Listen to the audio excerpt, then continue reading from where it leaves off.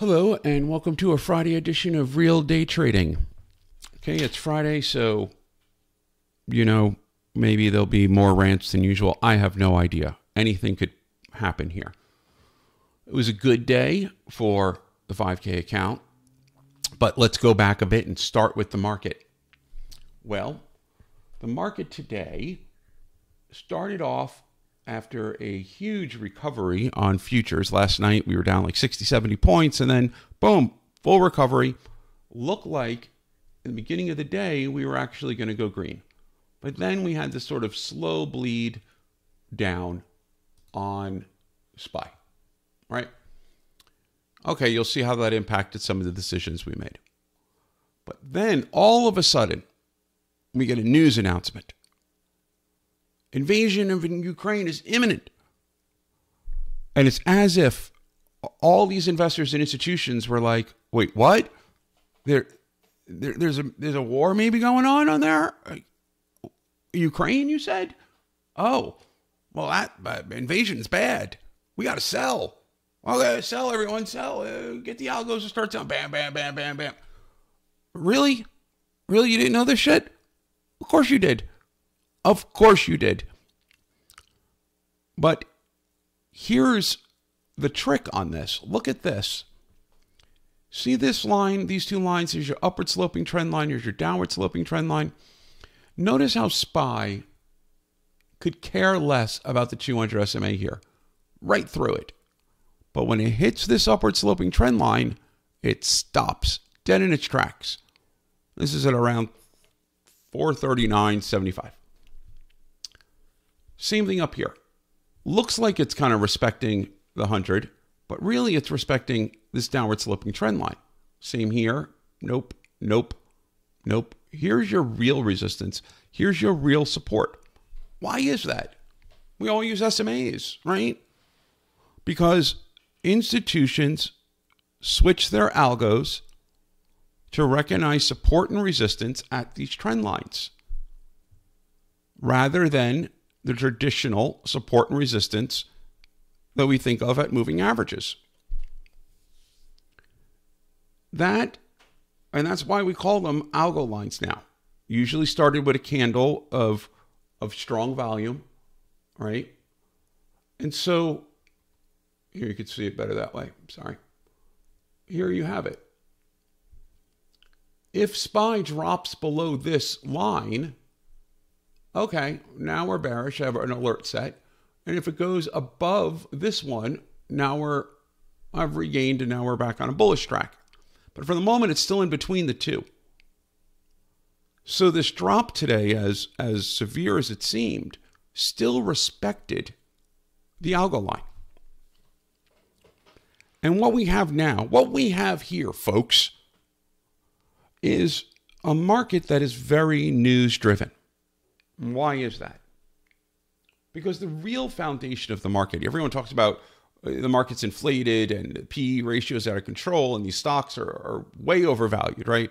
Oh, it's going to be a it's going to be a crash. Well, no, it doesn't mean that. You can be overvalued for forever. That's why RSI is such a bullshit measurement because you can be oversold or overbought for months on end. I was like, oh no, it's overbought. I'm gonna I'm shorting, I'm selling, and and, it, and then it keeps going up because it can be overbought for a while. It's a crap measure, but whatever. I've been saying that forever, and people still friggin' use it. However, this market right now, the real value, if you were to pare away all the crap, is around 270. That's the foundation of this market. So what what is happens when you have an inflated market like this? You have no real foundation to rely on.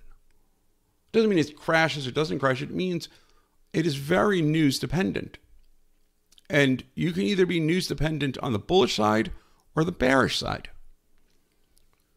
You ever many times see news that comes out and look like, oh, this is bad news, and the market would go up?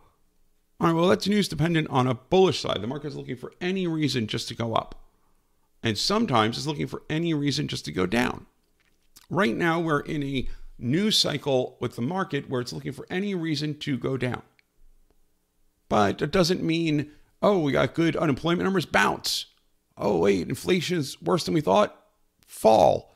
And that's what's happening. Now, that is a pain in the ass for technical traders because even though it's still respecting the extremes, these are the extremes, intraday, all this noise, really, really hard to decipher when a Secretary of State can come out and say an invasion's imminent and you get this.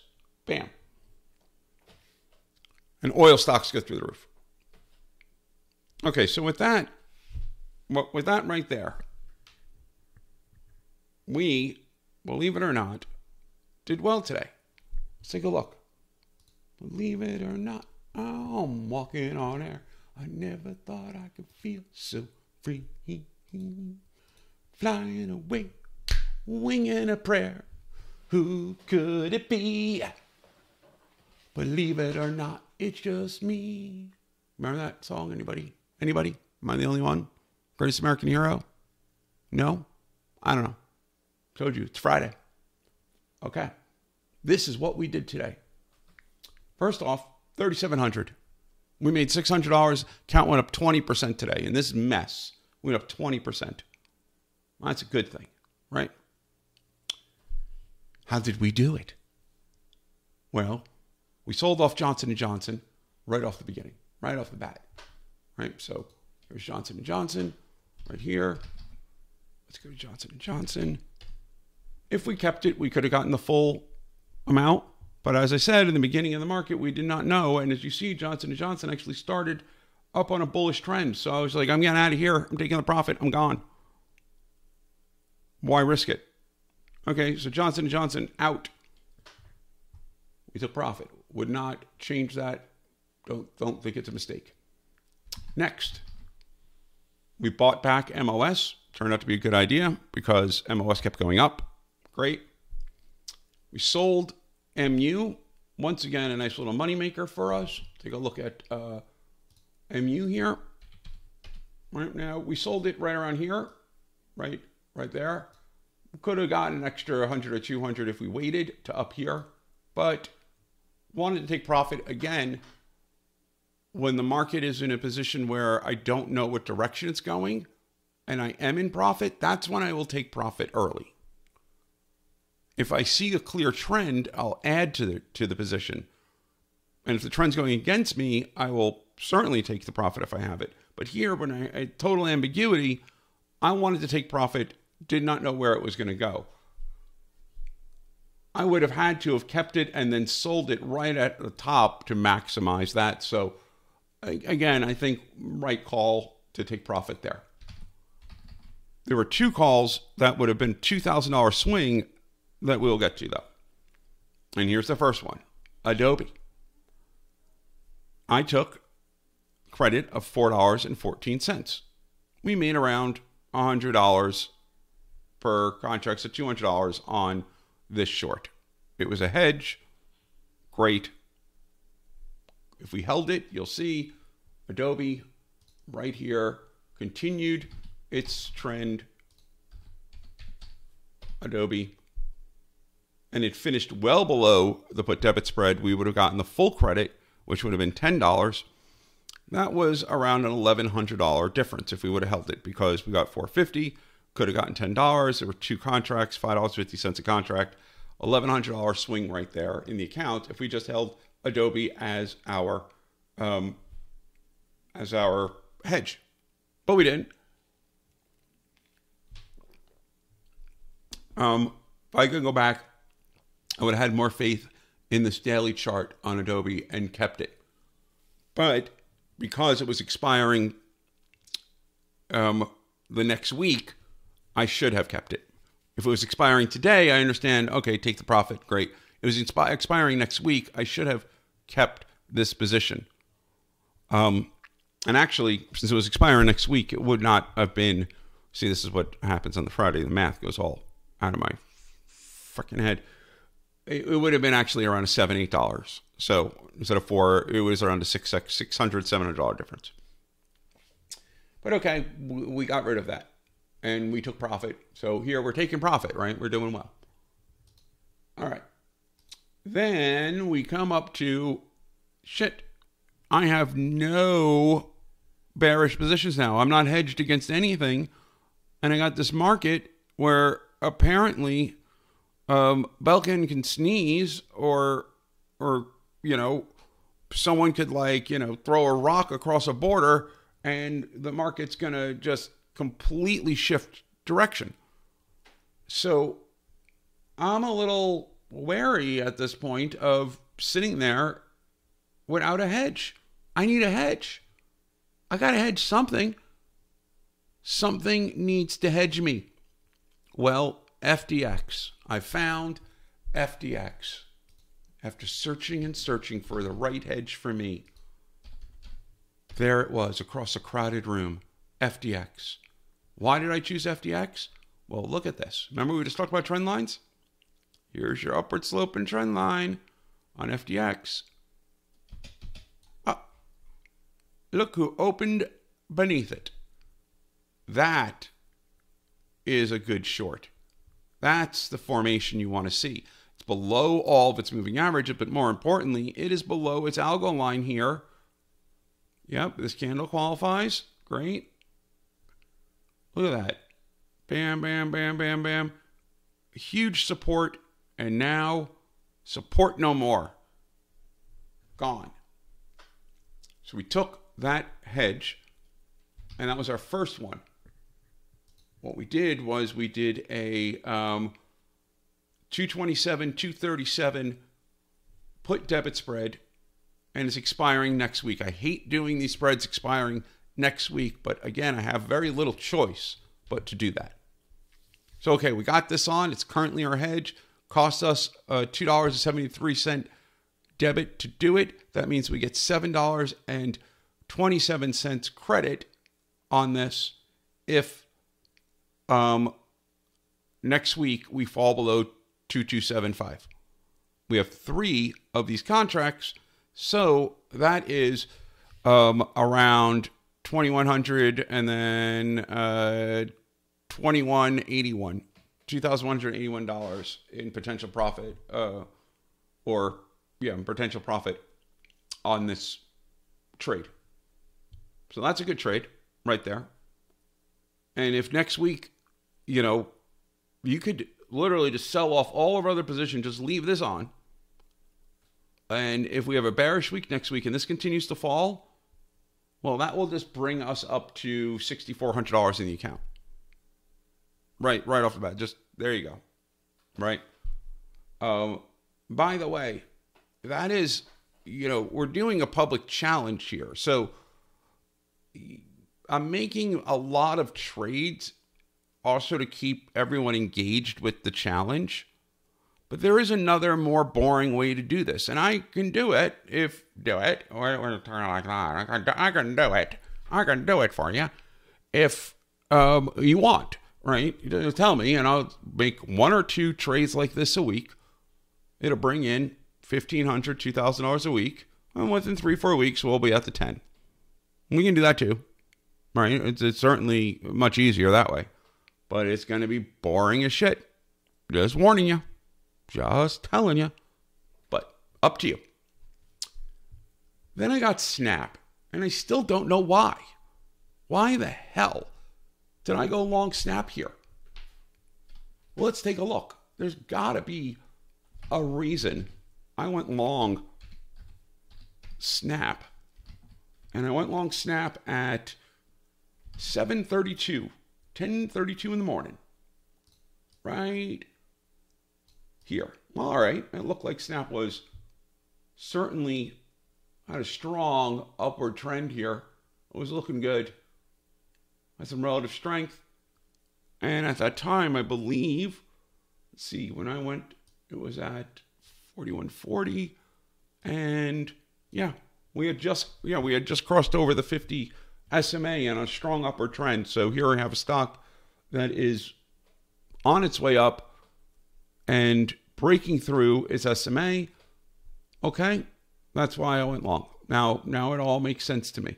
We can even draw our our algo line, and it's all the way up here. So resistance is still pretty far away, right? And there you go, horizontal. So what happened was, of course, the market drags it back down beneath there, and now this is acting as pretty strong resistance because you can also draw a little mini line here, right? And look at that.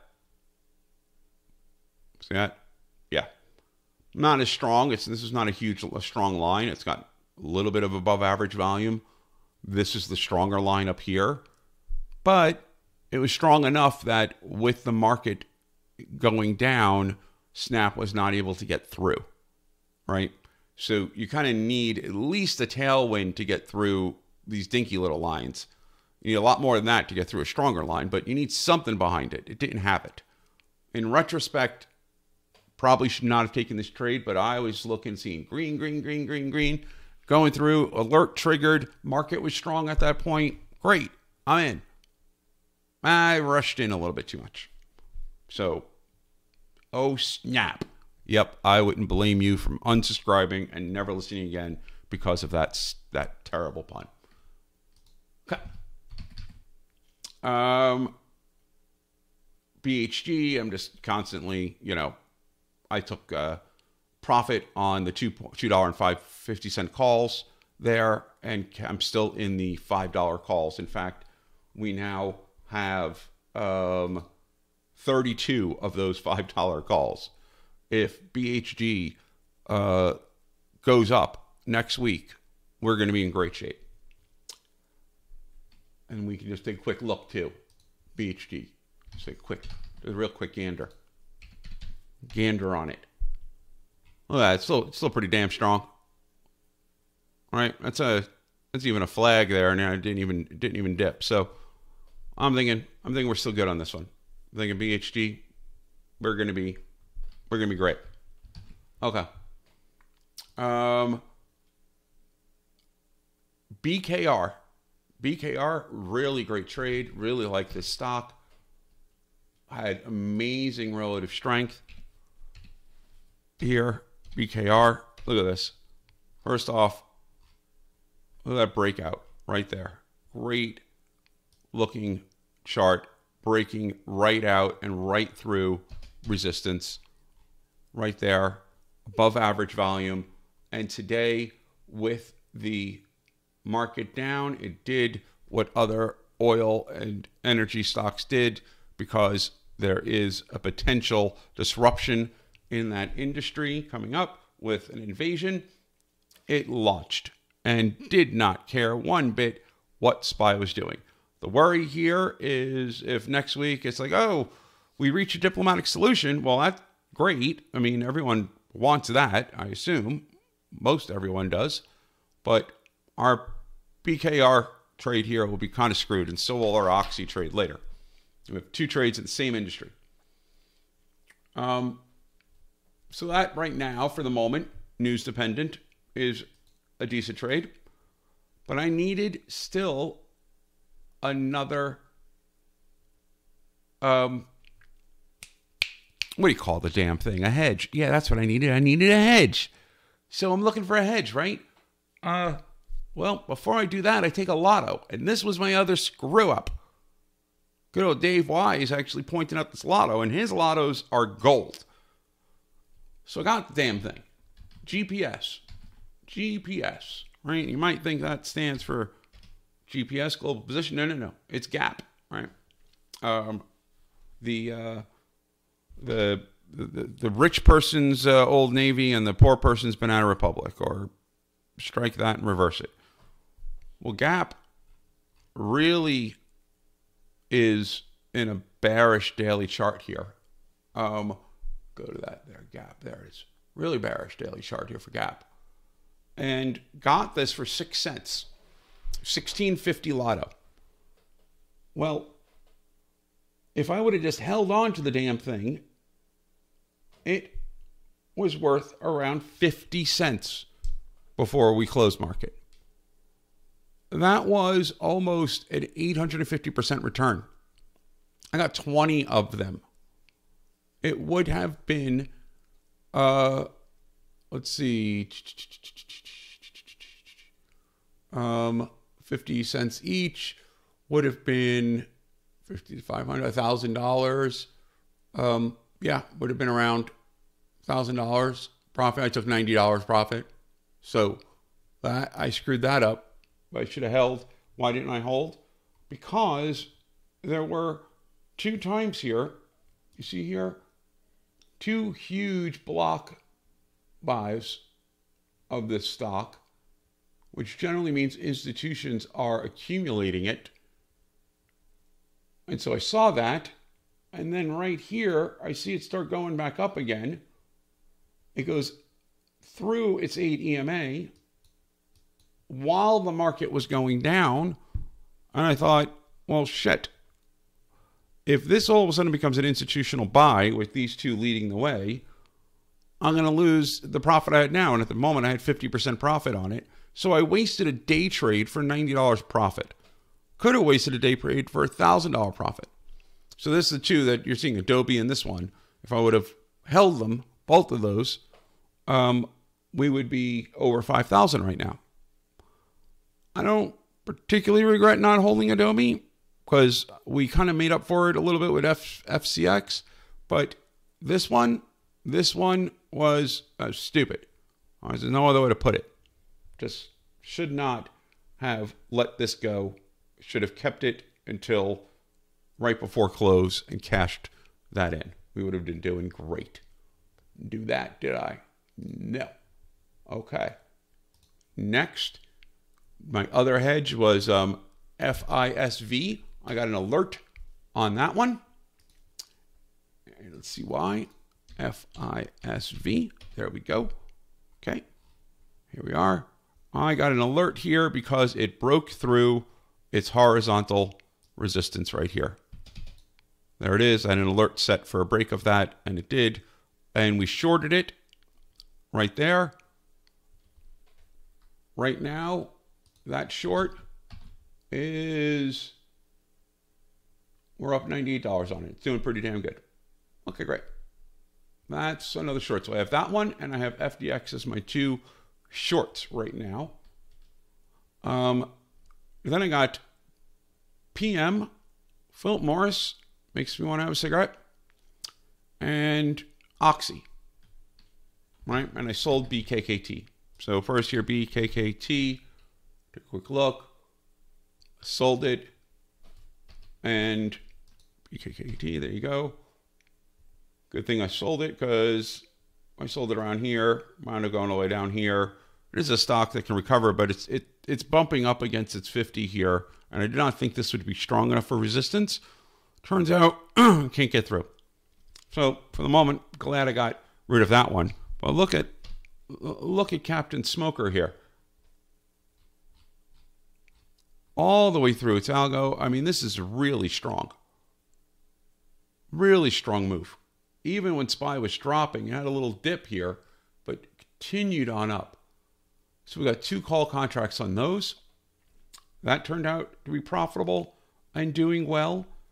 And we also grabbed Oxy because for same reason as BKR, look at that strength. Look at the stock here, filled the gap. This thing is primed to go all the way up. Now, in this one, I took the 46s and I never take out of the money, um, out of the money calls. But here I did because this is a news driven stock and I feel like this one is going to jump up so fast that I have reason to believe it's going to get there. And those calls, just compared to the volatility, had not yet caught up on the pricing. So I'm pretty happy with those. But if you notice, the stocks that I have right now on in the portfolio, all really, other than the spec ones like BBIG and um, CFVI. Those are kind of spec BHG. But BKR and Oxy and PM, those are three of the stronger stocks in the market right now. Those are our longs. And we got two good shorts FDX and um, FF, FISV. And this one here, FISV, is just a straight put, so we get a lot more profit on that one. And the end result is we had a balanced portfolio coming in and a balanced portfolio going out, and we are slowly but surely scraping our way back and are now at 3,700. Okay, great. We're going to, I mean, this is the challenge. We'll just keep growing it. And at the end of it, we can show that, okay, we went down, we went up, and never gave up and continued to grow the account in this ridiculous environment. And I'm sure by the time we're done, by then, SPY will have chosen a direction. But no one can ever say now that this was a challenge that, oh, sure, it was in a bullish market. Anyone can do that. Well, A, no, no, they can't. And uh, B, um, never use lists when speaking. And C, never use letters when making lists. So those are all good tips. All right. Well, um, this is the end of the video. I mean, I could rant here about a million different things. You know, I already gave a little RSI rant earlier. Um, I did see some people claiming, oh, look, I, I made 50% on my small account doing one or two trades. Great. You know what? Post all your trades in real time. I don't want to see any portfolio transcript, any Photoshop crap. Just post your trades in real time. That's all. Entries and exits. Can't fake that, right? All out there, good, bad, and ugly for people to see. You can check the timestamp, see the stock. Oh, it was at that dollar, it was at that amount, that price. Just do that.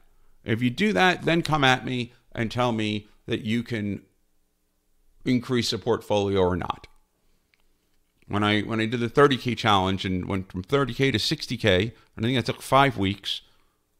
I like two or three people say, "Oh, I I made I turned 10k into 200k in a week."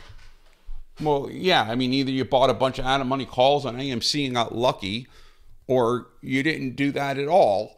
But either way, I don't care because what I'm trying to teach here is a method that is repeatable, that is sustainable, and that is consistent.